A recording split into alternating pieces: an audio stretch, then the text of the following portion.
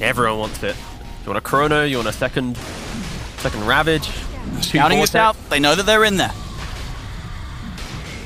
That boom, their sort of team fight initiation resting on Notice in a, in a solid arena. Notice is trying. Oh, okay, picks up the gem again. He is going for the snipe though. He's he getting low. low. Inventory slot. They're going to be able to jump in time. Notice he's in.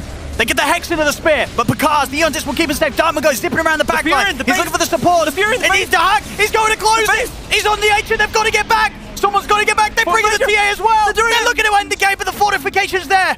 They've got to head back. They've got a TP out there. The, the TP for Dartmouth Go was stopped by Notice. He's not going to be able to get back to base for this one. They have the Ravage, but got from it. the beginning, the Oh, Chrono is going to catch them. It's going to hold back the two of them from beating into the Ancient as they turn Picard They on did the it. TA, but the Ancient is out. They've got the game.